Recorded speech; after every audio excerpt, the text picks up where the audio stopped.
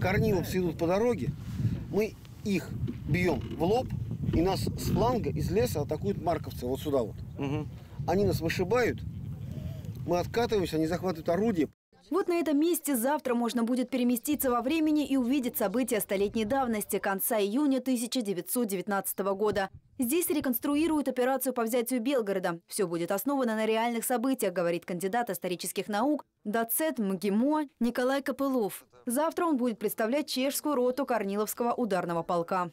20 3 июня, это по новому стилю, как раз прошли события в районе Белгорода. Это атака на Белгород э, двух э, дивизий, которые, э, сбив заслон Красной Армии, к концу дня овладели городом Белгород. Участие примут почти 100 бойцов. У них будут 80 единиц орудия, две пушки, один пулемет. Пока участники проводят рекогносцировку местности и определяют, где разместить специальную пиротехнику. Будет выглядеть как огненный вал, грубо говоря, идет атакующая группа и идет э, работа имитаторов, идет выстрел, там ответка. Завтра зрители услышат залпы орудий и увидят взрывы, но для этого еще предстоит подготовить территорию. Особое внимание мерам безопасности. Будет проверяться зона закладок, имитация попадания. Это потому что мало ли там будет находиться мусор или же посторонние предметы. Бой продлится около полутора часов. За всем будут наблюдать зрители, расположившись на холме.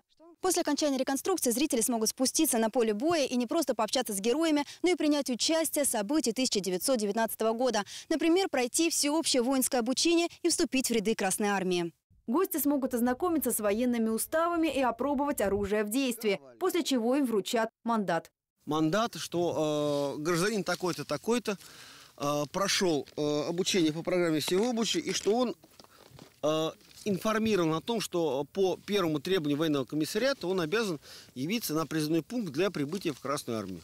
Противостояние красных и белых начнется завтра в 14.00 у села Новая деревня. Добраться до места реконструкции вы сможете как на своем транспорте, там будет организована парковка, так и на общественном. Из Белгорода по маршруту 132 и 142 будут отправляться автобусы от стадиона вот до этой остановки, которая у меня за спиной, Веселая Лопань. Дальше вы поворачиваете налево и следуете указателям. Екатерина Ковалева, Павел Емелин. Новости мира Белогорья.